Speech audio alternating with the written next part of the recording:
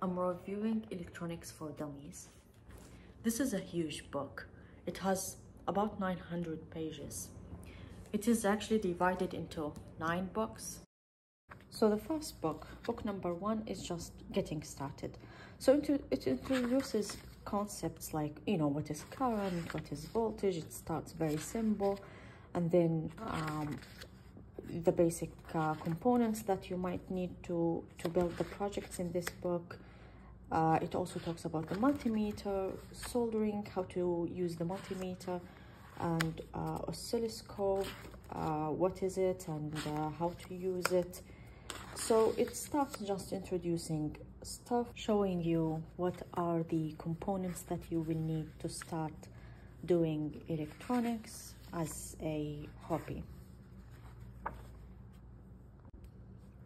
So in book number two, you start working with basic electronic components. So this book is uh, relatively large and you start, you know, building, um, building circuits with, you know, you start with the resistors and capacitors and there are many projects in here and uh, there is always a picture of how the project look li looks like and also uh, detailed steps about, you know, where to plug things, etc so in this in this second book you um, you eventually learn about the all the basic components like resistors capacitors inductors uh, diodes led uh, which is diodes of course and transistors. And you you you you learn the basic for example here you know the rectifying uh, circuits. And there are a lot of projects as you can see a lot of projects and uh, you have you know how the project looks and the the steps in details so it's very easy to follow and by the end of this second book you have built many circuits with the basic with the basic components. In book number three it introduces integrated uh, circuits and it um, it has a lot of projects using the uh, timer integrated circuits and also the operational amplifier. So again there are a lot of uh, projects in here using especially those two integrated circuits. And so by the end of this book you know doing book number three you get to know what is the integrated circuits and you do projects with uh, two of the most common integrated circuits. Book number four is called beyond direct current so in this book, we start dealing with alternating current. So this book is interesting. It shows uh, in our houses, we have, of course, AC current, and then we need to convert it into DC to power uh, most of our, to power our normal devices. And it shows how, you know, using the elements that we dealt with previously, it shows uh, circuits and concepts that are needed to be able to uh, do this conversion. It also talks about uh, radio. You can build a small uh, radio project in this uh, chapter, which is very interesting indeed. And then there is also a little bit about infrared. This book is, is interesting, was interesting for me. I learned something new from it. And uh, it was very interesting to see book number five is about digital electronics and to be honest this was for me this was very great book because um, because it's the first time that I actually get to know about uh, digital electronics. So the previous books, I had previous exposure. I learned a lot from the previous books still because I just knew the basics and it has been very long time. So it was good for me to refresh my memory.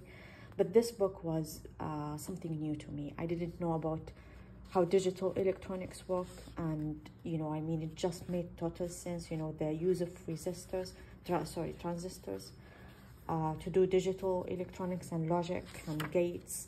I mean i learned all of this from this book. I really didn't know about it before. So and memories at the end of the book it talks about how uh, flip flip-flops. So yeah this book book number five for me was was really great because I learned something very new to me about digital electronics. It also go through things that I think many people know about, like binary numbers and how to how to uh, how to add them, how to convert, whatever, you know, those kind of things. It goes through them and uh, the logic here. But yeah, the, the highlight for me was, you know, just seeing how digital electronics work and, you know, doing a pro project where, you know, you use transistor to build uh, the logic gates. I mean, this was very fascinating. It was totally new to me, so it was it was very um, very interesting. And uh, to be honest, I wish I knew about this when I was a bachelor student. In book 6, 7, and 8, you start using microprocessors. So in book 6, you work with Arduino, in book 7 you work with basic stamp. And then in book 8 you work with raspberry pi. In these three books there are again many projects and uh, a lot of instructions about how to uh, assemble the project about the programming of the microcontroller controller etc uh, so for me these three books i don't have the microprocessor i don't have raspberry pi or Arduino or whatever. So I haven't really gone through them in details, but uh, maybe in the future, if I obtain one of them, I will go through. I will go through these projects as a uh, as a starting point to get to introduce myself to these microprocessors. The final chapters, the final book, is uh, special effect effects. So in this book, you use your previous knowledge to do larger projects. Um, you you will need to use uh, sometimes you know the microprocessors uh, that you learned about in box 6 7 and 8 and you use basically your previous knowledge to to have uh, bigger projects and uh, with again details uh, instructions of how to build them so this book is very easy to follow in this book you will develop a very good intuition about electronic circuits and the different electronic components. It uh, gives you very good exposure to the basics in a very intuitive and easy way.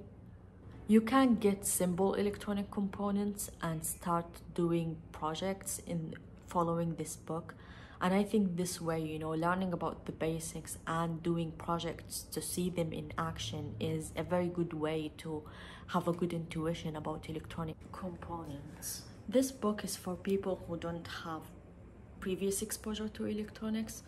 If you are interested in electronics and you don't have any previous exposure then i think this book can be very good for you. If you have previous exposure but it wasn't um, that advanced, you know, just very basics, maybe long time ago, then I think this book can also be good because it will uh, be a good review, it will refresh your memory, you will be able to work on simple projects. If you already had um, very advanced exposure, then I think this would be too simple. This is for beginners, for people with just basic knowledge,